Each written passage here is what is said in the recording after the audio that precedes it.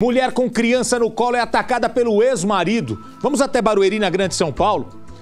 O homem ficou inconformado com o fim do relacionamento.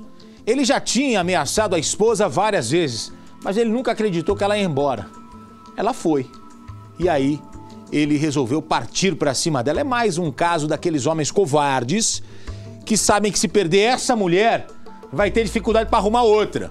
Porque ele é covarde, ele é frouxo e ele é inseguro. Aí ele agride a mulher. Vamos ver a reportagem, vamos lá.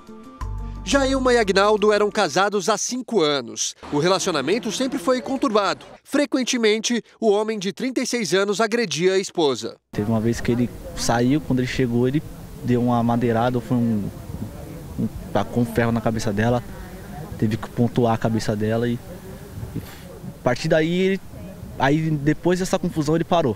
O casal teve uma filha que hoje tem dois anos. A mulher já tinha outros dois meninos do primeiro casamento dela, um de 14 e outro de 10.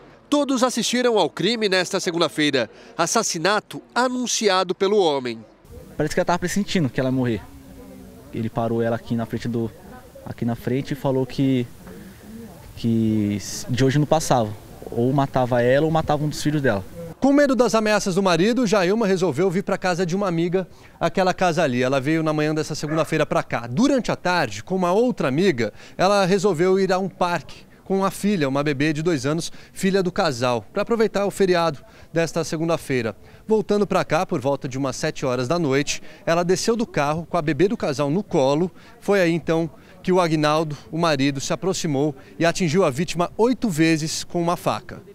Ferida, Jailma foi atendida nesse hospital, que fica a menos de 50 metros do local do crime, mas não resistiu e morreu. Ninguém da família acreditava que Agnaldo pudesse cumprir a promessa de matar a esposa. Eu não imaginava. Se eu falar para você que eu não imaginava, porque ele convivia na minha casa também, frequentava na minha casa. As ameaças de Agnaldo começaram há cinco meses, quando a mulher tentou a separação. Muitas vezes eu chegava na casa dela, ele estava dentro de casa escondido. Ele forçava a porta, entrava e se escondia de casa se escondia dentro do banheiro onde ela morava. E todos os locais que ela ia, ele estava atrás. Ele aparecia do nada, como hoje também ele apareceu do nada. Segundo essa outra irmã da vítima, a mulher já havia procurado a polícia. Ela fez boletim de ocorrência, ela tentou fazer medida protetiva. Agora, uma das irmãs deve assumir a guarda dos filhos da vítima. Agnaldo fugiu depois do crime e está foragido. E eu espero que ela não seja mais uma. Espero que a justiça seja feita, que ele seja pego, que ele pague pelo que ele fez.